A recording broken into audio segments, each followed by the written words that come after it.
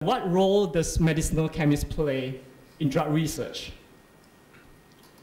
So let me just give you a very, very crude background of what drug research is about. The drug research typically can be divided into two, two stages. The first one would be what we call a drug discovery. And this is the stage where a compound of interest, which can potentially act as a drug, is identified. The later stage is what we call drug development.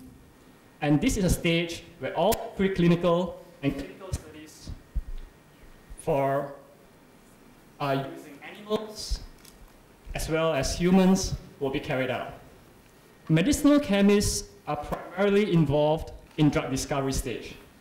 In this drug discovery stage, what the medicinal chemist did was to synthesize, purify, characterize, and a compound. So it's, it's, it's pretty boring, you might say, right? So, but they play an important role in framing the hypothesis of a new drug project. So they, they have an important role to play. As um, after a hit compound has been identified, a hit compound basically means a compound which is biologically active. It is the medicinal chemist who then decide which part of the molecule should be changed or modified in order to enhance or maximize its activity. And during this fine-tuning process, a project may fail. Many of the drugs that we have today exist is due in part to medicinal chemists working tirelessly to solve one problem after another, and over the years, many new approaches in drug discovery has been made. And one of the most significant that I want to share with you is the emergence of biologics.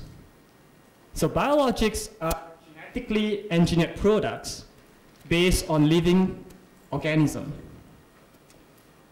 The proposition of using biologics to treat diseases or to cure diseases is a very interesting one. Just imagine curing such as cancer using peptides or proteins, antibodies, or even cells. So very recently, there are researchers who have been using T cells in trying to cure cancer. So T cells is basically a subtype of your white blood cells. What these people did was to harvest the T cells from a patient's body, reprogram it to make it target specifically against tumor cancers, and then put it back into a patient. So this type of technology was unheard of, say, just five years ago. Because previously, in the past, drug discovery is basically dominated by small molecules. So small molecules basically are organic compounds, typically less than 1,000 Dalton. They are very, very small molecules. So in comparison, for example, one strand of your DNA basically is more than a billion Dalton. So small molecules have served us well over the past few decades. Remember your paracetamol or your Panadol or your aspirin? These are all small molecules. So small molecules are very popular because they are easy to manipulate as well as easy to produce. But they have one drawback in the sense that they are selective but they are not specific. So what this means is that there's always a remote chance of these small molecules acting as drugs, interacting with a non-desired target. And this could spell problem later on in the patient in terms of side effects. So on the other hand, biologics are very specific and it acts only on one particular target. And the fact that biologics is based on living organism, it is perceived, is perceived, but it's not always the case, that it is safer with less side effects. So biologics have come a long way during the past few years. In 2014, six of the top 10 best-selling drugs are small molecules. So the trend was reversed in 2015 and 2016, where the number drops down to only two, with the rest dominated by biologics. So we can actually see a changing trend over here in between the popularity of biologics and small molecules, but whether the trend is sustainable is left to be seen. But no matter whether we are talking about biologics or small molecules, it still takes five to six years in terms of drug discovery. And if you, if you include that with drug development, and to bring a drug from the lab bench to clinic, it will still take about 10 to 15 years, and still a very long time. And it's not to mention the success rate, extremely low success rate of just 0.05% on average coupled with hefty price tag of more than 2.6 billion US dollar. So now you know why sometimes drugs are so expensive, right? So one of the trends which scientists has been looking at is on how to lower the cost of therapy. So one of the, one of the ways that we could do it is to repurpose old drugs. Basically what this means is that uh, teaching an old dog new tricks. So humans have been repurposing for ages. We have been changing houses into museums. We have been, we have been changing old tires into swings, and so on and so forth. So why not drugs? So repurposing in drug discovery refers to a situation when an approved drug finds another use, which is to treat a different disease. Sir James Black, a Nobel laureate in medicine, once noted that the best way to find a new drug is to start from one. A very wise man indeed. Anybody knows Viagra? right, I can see some guys over there nodding their heads, smiling, right? right? So Viagra was originally developed to treat cardiovascular disorders. But along the way, it makes clear sense that it makes a better treatment in treating erectile dysfunction. Right. And it's so popular for its later application that sometimes people tend to forget what it's originally developed for. So this just shows one of the success successful um, ways of repurposing an old drug.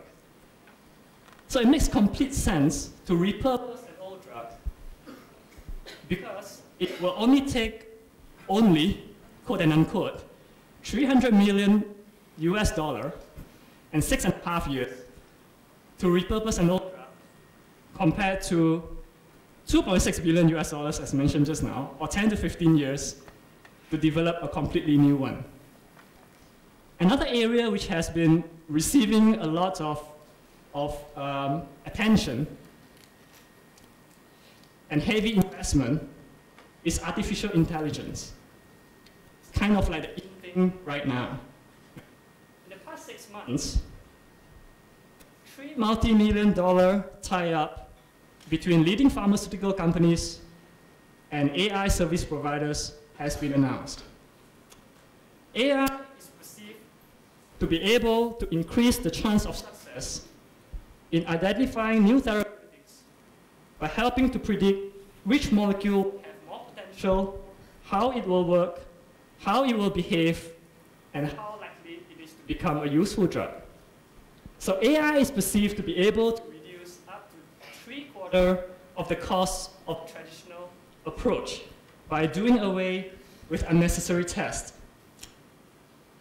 AI is not something very new in the sense that it has been around in the 1970s or even 1980s. So what makes the difference between the AI in the past and the AI now?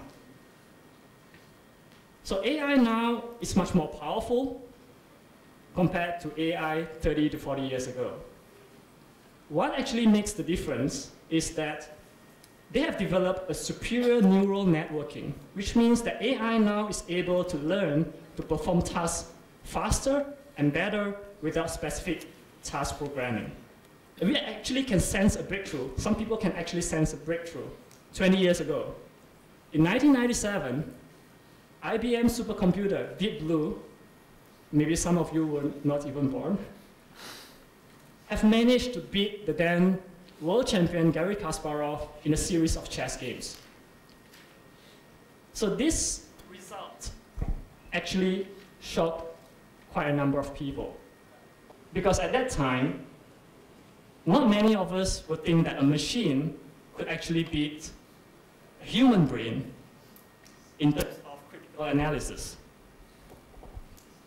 But the big question now is that, will AI succeed in drug discovery? Nobody will know, it's anybody's guess. Only time will tell. But what is certain now is that we need more human brains. Drug discovery, as you might know now, is a long and complex journey. And the best way to attempt this, in my opinion, is to harness the brains of as many scientists as possible. We have amazing people doing great things in very diverse areas. In biology, in chemistry, in nanotechnology, in engineering.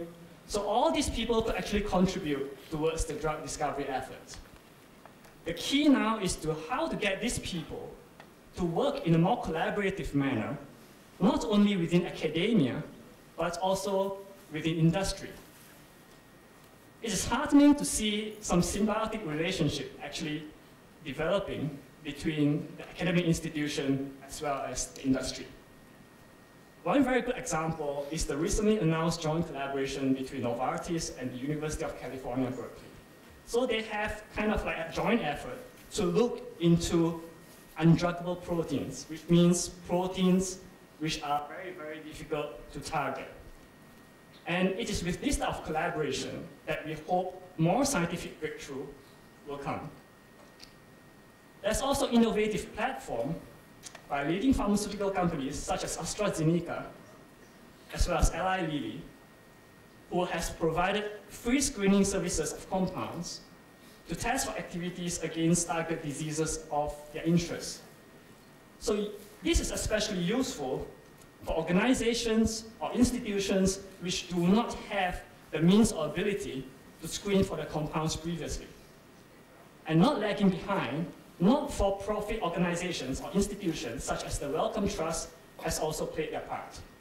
Wellcome Trust, together with the University of Queensland, has jointly established the Community for Open Antimicrobial Drug Discovery, or in short, COADD. So what they did was to have samples from all over the world and to screen these compounds for activities against bacterial pathogens as well as fungi. So there's no doubt that this type of open innovation or strategies can help to push forward the drug discovery effort. And we are looking forward for more to come, right? So this is exciting times for drug discovery. What I've mentioned during the past 15 or 20 minutes is just the tip of the iceberg. Although much is needed to be done, but we have made phenomenal progress in the last decade. Look at the progress we have in HIV, in neurology, in oncology, in drug, in, in drug delivery, in diagnostic, in personalized medicine. So all these are amazing things, and using tools and data from newly emerging fields, for example, genomics, proteomics, next generation sequencing, machine learning, I am very confident that the next decade of drug discovery will be equally astounding. Our ability to create new and better drugs will increase very, very dramatically. So to all those young researchers, especially in drug discovery, this is your time do your part to help translate science into medicine. Step up, go out, and make a difference. Thank you.